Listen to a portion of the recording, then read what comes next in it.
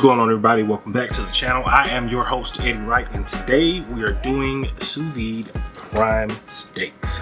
Today I have my Anova sous vide machine and I also have some Sam's Club prime beef strip loin steak. We're gonna take this, follow the normal process, put it in Ziploc bags, use a little thyme, a little bit of European butter.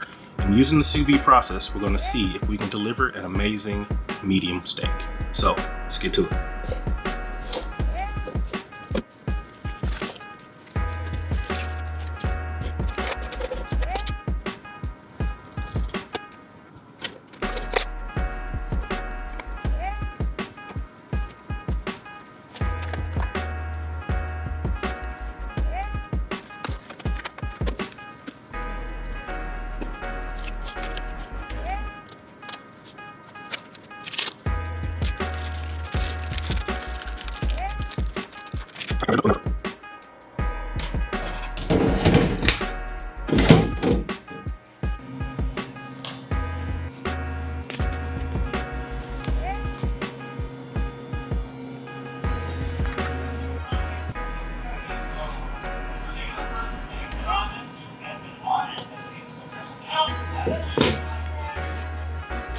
So here we have me removing the bags from the water bath. As you can see, there's an amazing amount of moisture still contained within the steak and outside.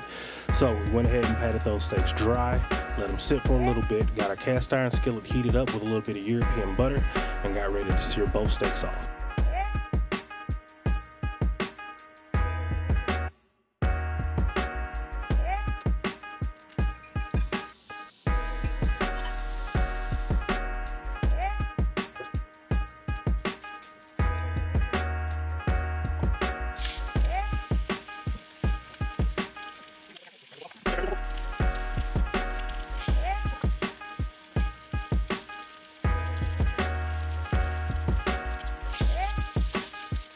Being a novice to this process has most definitely opened my eyes and ears to what this process is all about. Getting to understand that it doesn't take a lot once you actually cook the protein within the water bath to get it completely finished off and seared off within a skillet makes wonders for me. I haven't been a very big I haven't been very good at steaks, but this is helping me get up to par with steak cooking with a different technique. I'm enjoying it a lot, and I hope you enjoy it as well.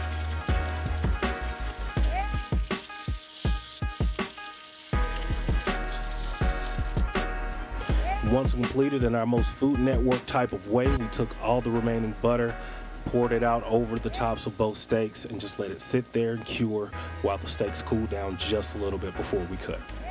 And as you can see here, our finished product. Two amazing cuts of strip steak, cooked to a medium consistency using the sous vide technique. Get rid of this extra thyme over here on top. It's done its job.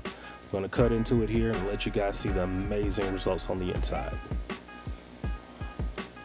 As you can see, the moisture below lets you know that while the meat was just sitting and cooling, it was just still pouring out interior juices. And I cannot stress enough that this meat was not dry whatsoever once we cut into it and finally got a chance to taste the flavor profile.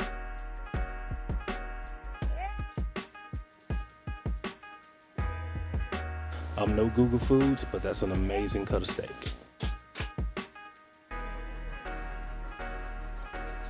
We finished cutting it up, allowed the lady of the house to give us a taste test review, and she was very pleased. So, with that, I think we have a job well done here.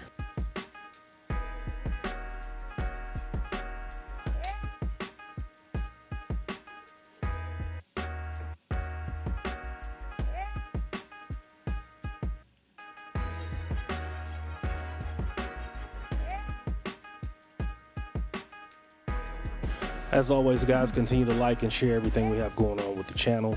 All suggestions are welcome to the next menu item in our content list. And always remember, you too can do amazing cooking and barbecue the right way. See you next time.